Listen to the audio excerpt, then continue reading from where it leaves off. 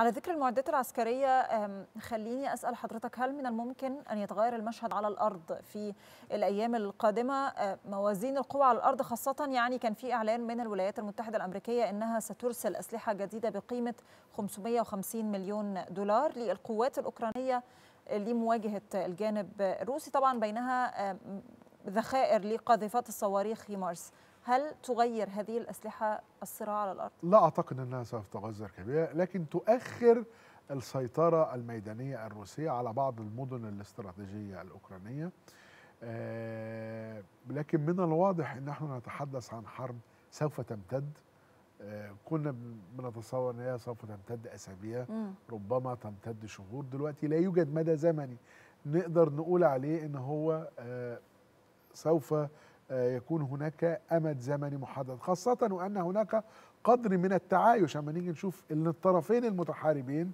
اتفقوا على تصدير حبوب آه، في اتفاق تم توقيعه آه، بحضور آه، تركيا على سبيل المثال. وبالتالي هناك قدر من التعايش مع الأز... يعني زي ما بنتكلم عندنا كده في منطقة الشرق الأوسط التعايش مع الصراع هنا التعايش مع الحرب آه،. ما بين البلدين. آه، ربما هناك كان ترحيب من جانب دول العالم بالتوصل لذلك.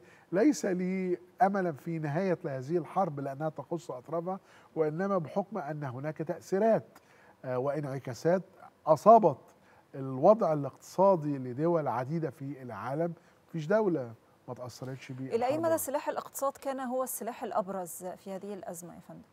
هو السلاح بدرجة اساسيه يعني ال- السلاح الاقتصادي ده اللي بيخلي إن هل الدولة هتقدر تحارب لحد فين بالنسبة لروسيا وبالنسبة لأوكرانيا. لأنه في آه، كان البعض يتصور أن هناك ضغوط اقتصادية من جانب بعض النخب اللي ليها مصالح مش في روسيا. المصالح في الدول الأوروبية على سبيل المثال وإلى أي مدى يمكن أن تضغط على آه، آه، فلاديمير بوتين على سبيل المثال الإصلاح الاقتصادي حتى في ارتفاع الأسعار اللي ساد دول العالم بيبين إن إصلاح الاقتصاد بدرجة كبيرة سلاح المساعدات بقى اللي هو قايم حوالين إن ال- ال- دولة زي أوكرانيا تحتاج مساعدات مم. طوال الوقت مساعدات غذائية مساعدات طبية خاصة نحن نتحدث عن حرب في ظل انتشار وباء زي كوفيد 19 فبيخلي الأزمة مزدوجة الأكتر من كده إن الاقتصاد صلاح بردك مهم لإن ده بيحول الانتباه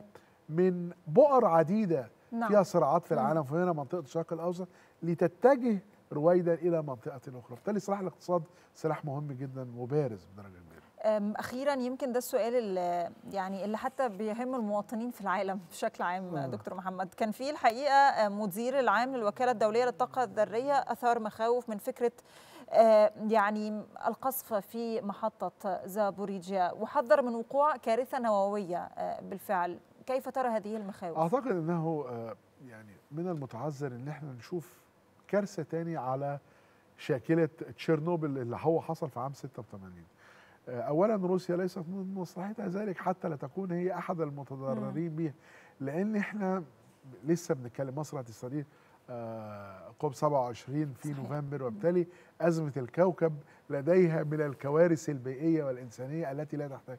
وبالتالي لا أتوقع أن حتى لو أصيبت أهداف سوف تقوم بالمقربة منها أو لا ينتج عنها آه، أي تأثيرات انتشارية تؤدي إلى إحداث تلوث أو دمار يصيب روسيا والولايات المتحدة والدول الأوروبية قبل أن يصيب. غيرها